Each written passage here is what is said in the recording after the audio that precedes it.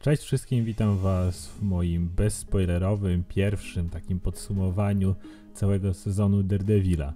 Prawdopodobnie jutro, mam nadzieję, e, postaram się zrobić już taką większą, nazwijmy to recenzję ze spoilerami, gdzie będę również mówił o odniesieniach do komiksów, no ale nie chcę tego przyspieszać, bo wielu z Was na pewno jeszcze nie obejrzało całego sezonu, więc e, również nie oglądalibyście, nie słuchalibyście mojego takiego programu, żeby sobie po prostu nie psuć zabawy. Dlatego e, z tym jeszcze chcę poczekać, a tutaj powiem Wam wyłącznie bezspoilerowe moje takie wrażenia, moją nazwijmy to taką recenzję. Dla osób, które chciałby to e, przeczytać w formie pisemnej, niebawem powinien pojawić się artykuł na, na ekranie. Przejdźmy już jednak do samego Daredevila. Po seansie Daredevila mam wrażenie, że była to produkcja wyjątkowa. Zobaczyłem coś niezwykłego, szczególnie jeśli chodzi o telewizję, ponieważ miałem wrażenie, że obejrzałem tak naprawdę 13-godzinny film, a nie 13 oddzielnych odcinków. Jedną z największych zalet całego serialu było przełamanie niesamowitej ilości schematów, takich banałów i powtórzeń, które widzimy e, w serialach konkurencyjnych, a nawet nie tylko w innych serialach Marvela. I pod tym względem wydaje mi się, że Daredevil kompletnie całą tą konkurencję zdeklasował. Pierwsza taka spora różnica, którą widzimy w Daredevilu, to oczywiście kategoria wiekowa. Widać ją oczywiście w scenach walki, w bardzo brutalnych obrażeniach, które otrzymuje Matt Murdock. Widzimy również egzekucje, łamane kości, to wszystko jest takie bardzo wyraźne, bardzo brutalne i e, to jest e, powód, dla którego właśnie pojawiła się ta wysoka kategoria TVMA, czyli odpowiednik kinowego R. Natomiast e, poważniejsza, taka mroczniejsza jest także sama tematyka. Mamy miasto, w którym dochodzi do uprowadzania dzieci, handlu żywym towarem, jest tematyka lekko poruszona dziecięcej prostytucji, patologii w rodzinie. I warto zaznaczyć, że cały serial dzieje się oczywiście w tym samym świecie, co wszystkie inne teraz produkcje Marvela, chociażby Avengers.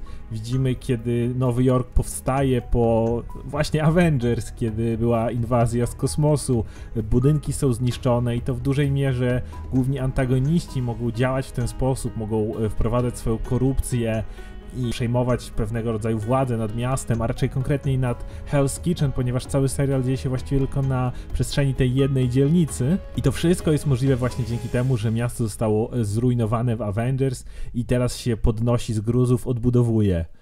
Jest to też dlatego fajne, że y, po Avengers widzieliśmy tylko inwazja z kosmosu odparta, wygraliśmy i przechodzimy do kolejnych filmów. Tutaj natomiast widzimy trochę inną tego stronę, jak zwykli mieszkańcy to odebrali, z czym muszą się zmagać i w jakim stanie właśnie Nowy Jork pozostał po całej tej walce.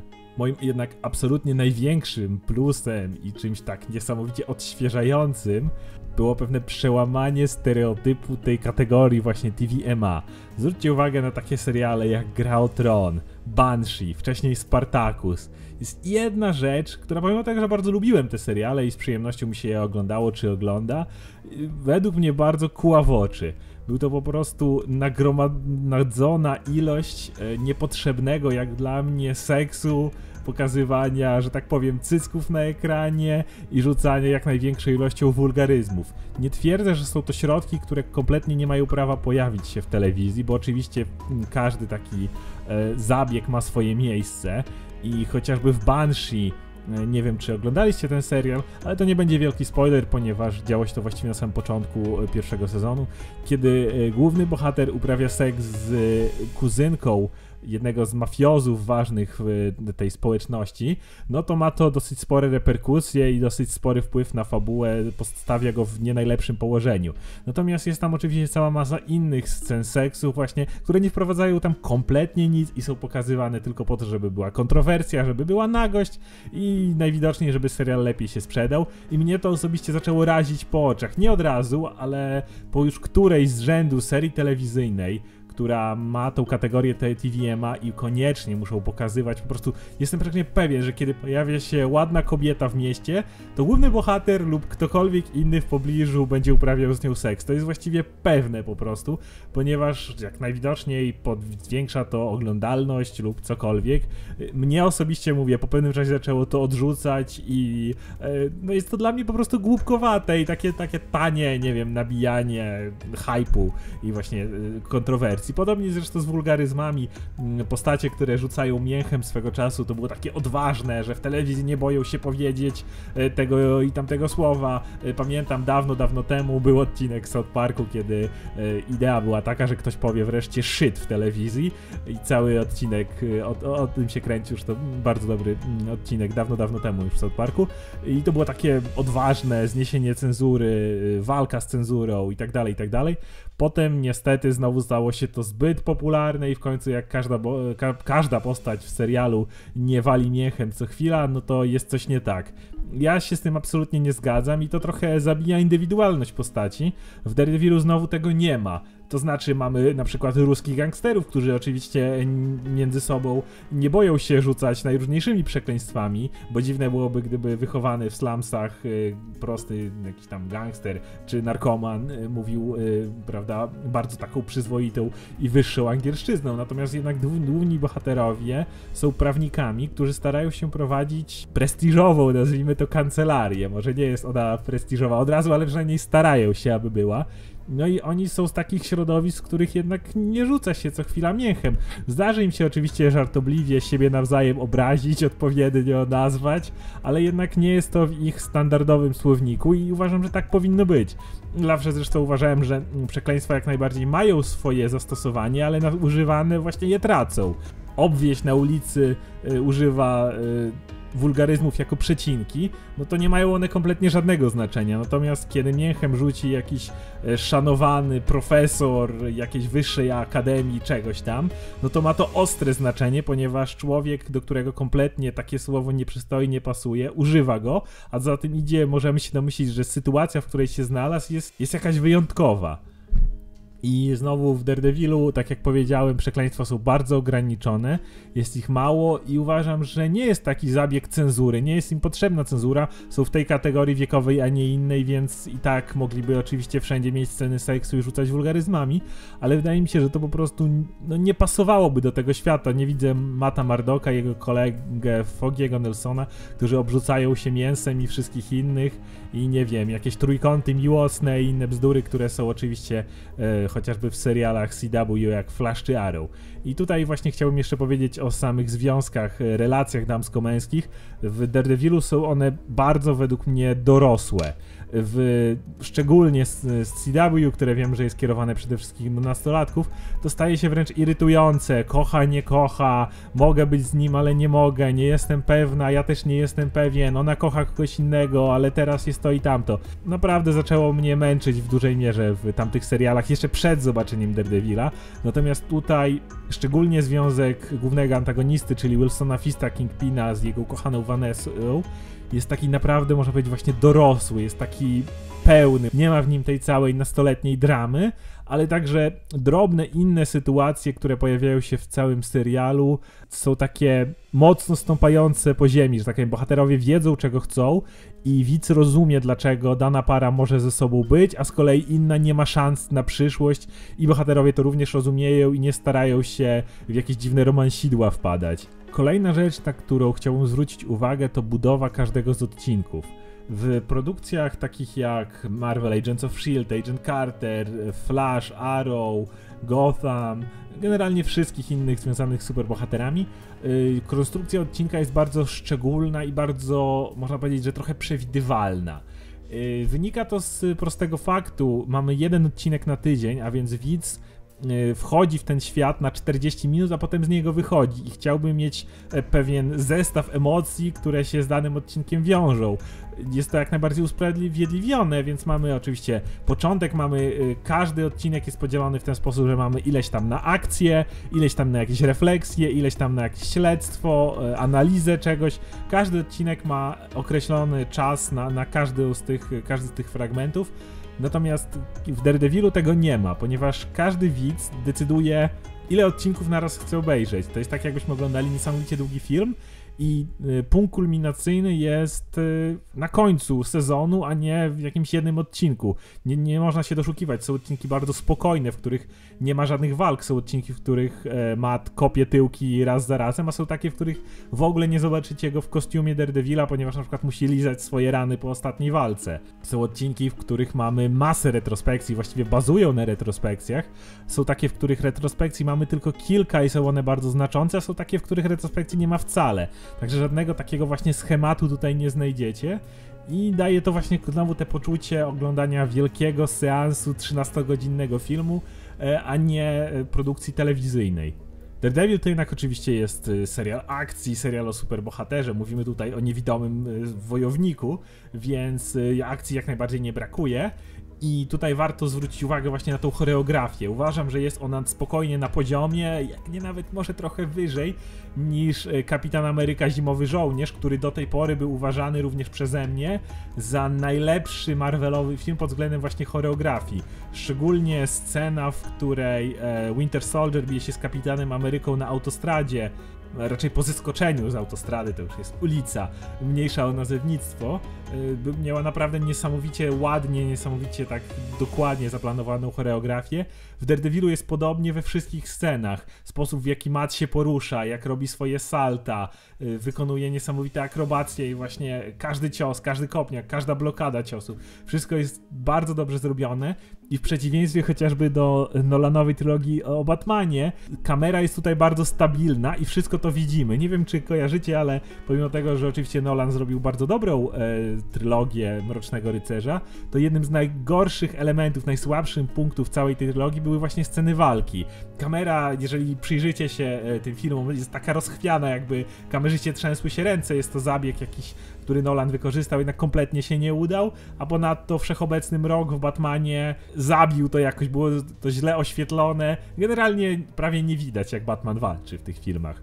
Tutaj, mimo tego, że mrok jest również wszędzie, mrok, mrok jest taki bardzo, bardzo wszechobecny, kamera jest, tak jak powiedziałem, bardzo stabilna, a oświetlenie jest na tyle dobre, że dokładnie widzimy e, wszystkie wyprowadzane ciosy zarówno przez Daredevila, jak i jego przeciwników. I właśnie e, na przeciwnikach chciałbym się na chwilę skupić. Daredevil nie jest e, wojownikiem ostatecznym, nie jest w stanie zablokować każdego ciosu i wyjść z każdej walki bez szwanku, z cerą, prawda, białą jak śnieg, czy czyściutką.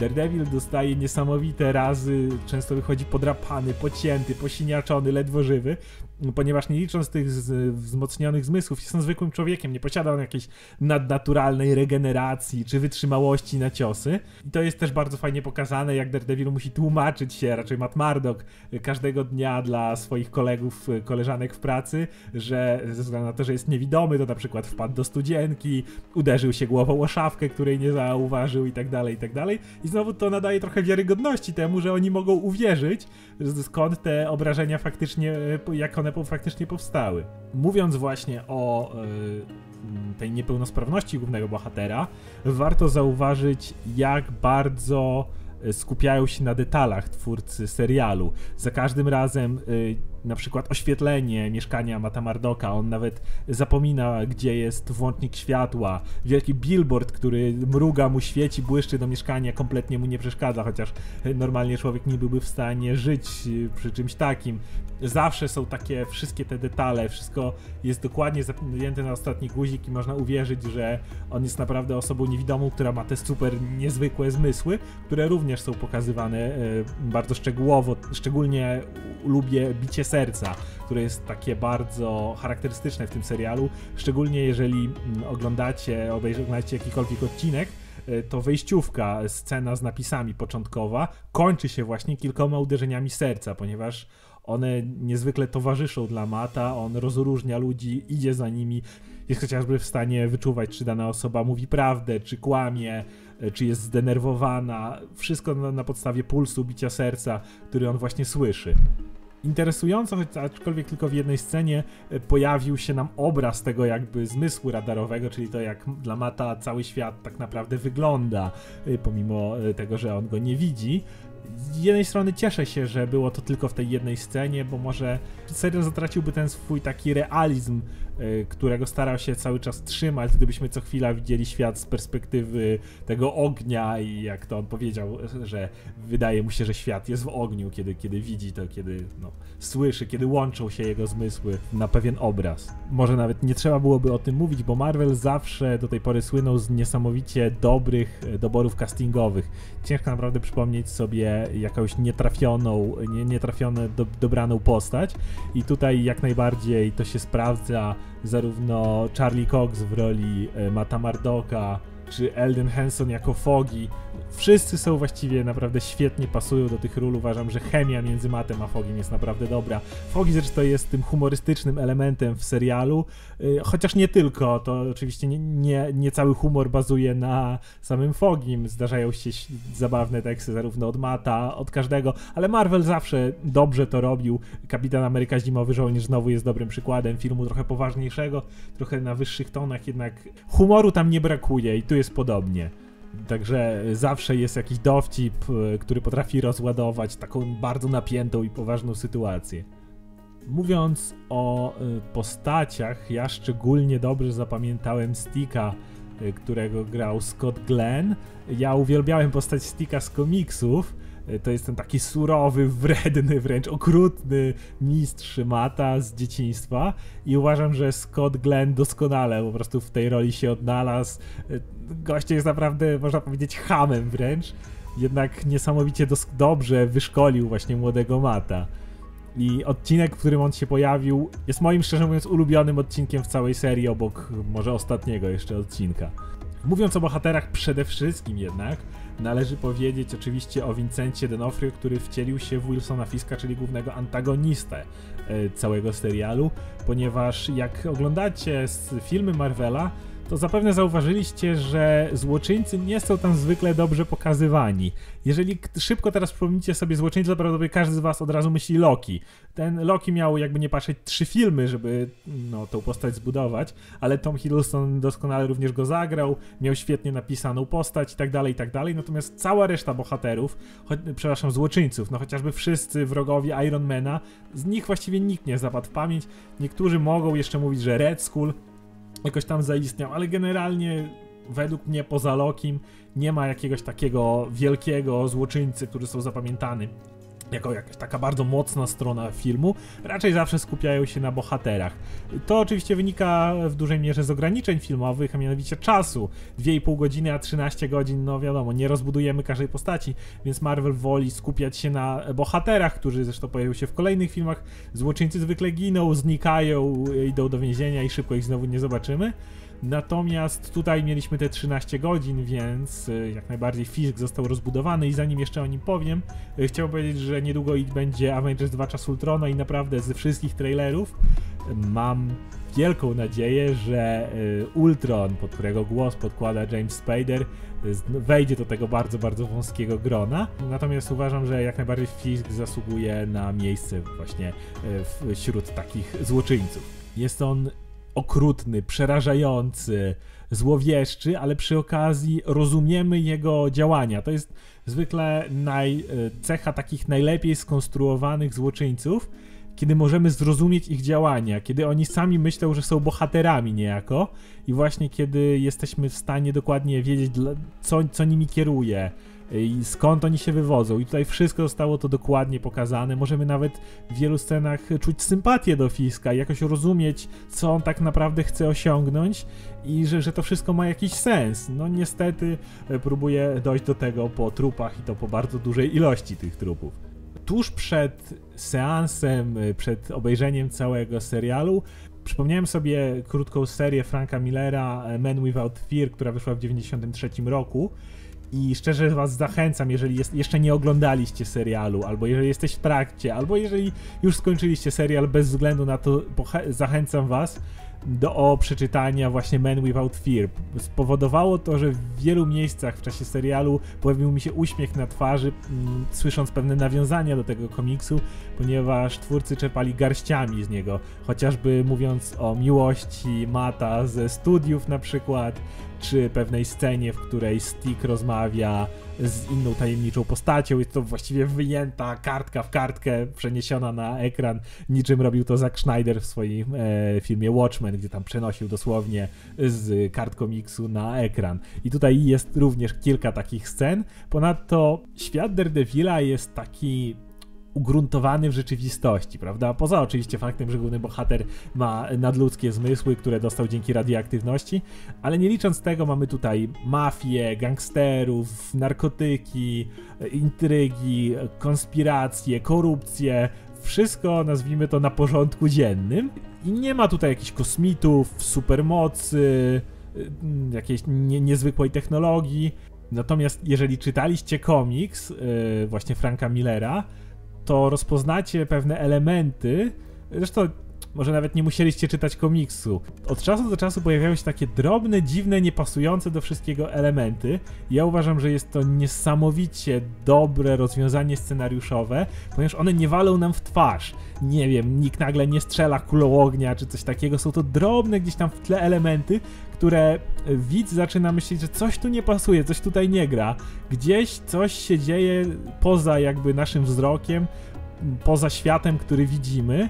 Y, działają jakieś tajemnicze siły, których nie rozumiemy, których nie znamy i które wydają się nie mieć większego wpływu na wszystko, co się dzieje. Mamy tutaj walkę jakiegoś szefa mafii, można powiedzieć, z superbohaterem ulicznym ale właśnie to mi się tak bardzo spodobało w tym serialu, że ta mistyka, jakieś tajemnicze siły, jakieś, jakaś magia, to wszystko jest tak tuż, tuż za, za zasięgiem wzroku, tu, tuż za polem widzenia, coś się dzieje i mamy takie właśnie przeświadczenie, że, że, że jest tutaj coś więcej, ale nie możemy nakreślić co i e, mi się to strasznie podobało, szczerze mówiąc.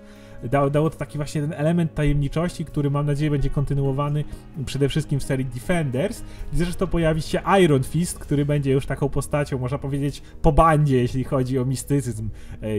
Powiem na pewno prędzej czy później Iron Fistie, teraz tylko zaznaczę, że jest to gościu, który wychował się w mistycznym miasteczku Kunlun, gdzie niejako narodziło się kung fu i aby zdobyć swoją żelazną pięść, musiał przebić serce nieśmiertelnego smoka, który e, pilnuje owego miasteczka, więc tam już mistycyzm pełną parą. Jeśli chodzi o nieścisłości, jakieś e, rzeczy, które mogły mi się nie podobać w serialu, no to uśmiercenie jednego z bohaterów, oczywiście e, jest to e, moja recenzja bez spoilerów, więc nie będę wam mówił którego, gdzie, jak i kiedy, ale jeden z bohaterów jest uśmiercony, jest to jak najbardziej uzasadnione scenariuszowo, jest to wiarygodne, wszystko sprowadziło się do tego momentu, więc jego śmierć była jak najbardziej właściwa, aczkolwiek postać ta, znając ją z komiksów, ma dużo większy potencjał, który został według mnie tu trochę zaprzepaszczony i zmarnowany przez uśmiercanie jej, natomiast, y, tak jak powiedziałem, no jest to jakiś wybór scenariusza, y, być może nie odczuję tego brak w przyszłości, ale tak jak powiedziałem, no ja znając komiksy y, trochę zdziwiłem się z takiego, a nie innego wyboru. Druga wada, ciężko mi nazwać ją wadą. E, odnoszę się tutaj do kostiumu głównego bohatera, tym oczywiście finalnym, bo początkowy jest jak najbardziej wiarygodny. Mamy tutaj właściwie chyba jeansowe spodnie i dresową bluzę, opaskę na twarzy, nic szczególnego. Można sobie wyobrazić, że gościu by biegał tak po mieście. Natomiast ten finalny kostium, który na pewno widzieliście już na jakichś planszach, nawet na moim e, fanpage'u wrzucałem go jeszcze zanim serial w ogóle wyszedł, trochę mi się gryzie. Y, tak jak powiedziałem, jeszcze napisałem w poście, kiedy wrzuciłem y, owy kostium, y, powiedziałem, że zobaczę, jak on prezentuje się w ruchu. I teraz powiem tak, jak na kostium faceta, który biega cały na czerwono, z różkami na, na głowie, uważam, że twórcy zrobili co mogli, aby kostium jakoś działał na ekranie, aby jakoś wyglądał. Natomiast jest to już taka cieniutka granica. Uważam, że jeżeli ktoś nie zna superbohaterów, nie orientuje się w tym, mógłby tego kostiumu niestety nie kupić. No, wygląda on jednak dla takiej osoby trochę głupkowato. Znaczy, ja kostium kupiłem i cieszyłem się jak małe dziecko, kiedy oczywiście podskakiwał on swojej czerwieni i rzucał kijkami znanymi z komiksów, ale gdybym na chwilę jakby postawił się na miejscu osoby, która nie jest tak bardzo, nie siedzi w tym tak wszystkim, no to może ten, ten kostium troszeczkę wybić widza z oglądania. Tak jak mówię, Niestety kostium Daredevila podchodzi pod tą właśnie kategorię takich kostiumów, które no w komiksach wyglądają fajnie, niekiedy złowieszczo, yy, natomiast niestety, ale na ekranie za cholerę się nie sprawdzają i mam nadzieję, że yy, Fox oglądał Daredevila i nigdy nie spróbują zaprezentować nam na ekranie kostiumu Wolverina, który nie, według mnie wyglądałby jeszcze bardziej głupkowato i on za cholerę nie ma tu miejsca. Tak samo jak zresztą wiele kostiumów X-Menów, no po prostu nie, nie sprawdziłoby się na ekranie. Daredevil, tak jak mówię, jest to ta cieniutka granica. Nie wyobrażam sobie, jak mógł być pokazany lepiej, niestety. Aczkolwiek y, była tam wyraźnie takie jedno, no żeby nie spoilować, wskazówka, że kostium nie jest jeszcze ukończony i być może w Defenders, może w drugim sezonie twórcy mnie zaskoczą i stwierdzę nagle, że się kompletnie myliłem i jednak można ten kostium pokazać dużo, dużo lepiej. Podsumowując, jak może słyszycie, jestem niesamowicie zadowolony z Daredevila. Uważam, że jest to absolutnie najlepsza produkcja ze wszystkich produkcji o superbohaterach. Jest tak dobra, że zostawia całą konkurencję w tyle i w tej chwili będę miał ogromny problem z oglądaniem szczególnie Arrow. Już od jakiegoś czasu mówiłem wam, że Arrow oglądam bardziej z przyzwyczajenia, Natomiast do tej pory i tak traktowałem ten serial. Wiedziałem, że jest kiczowaty w wielu miejscach, że jest sztuczny, ale mówiłem sobie, eh, telewizja, nie, nie zawsze mniejszy budżet, nie wszystko można pokazać. Po Daredevilu będę miał ogromny problem z zobaczeniem tego, ponieważ ta sztuczność, ta plastikowość, ta schematyczność będzie mnie biła teraz po oczach 10 razy bardziej i niestety przerzuca się to także na inne seriale. Shield, które bardzo lubię, Agent Carter, które uważam, że było świetne. Wszystko to na tle Daredevila wygląda cały czas no, lekko sztucznie i plastikowo.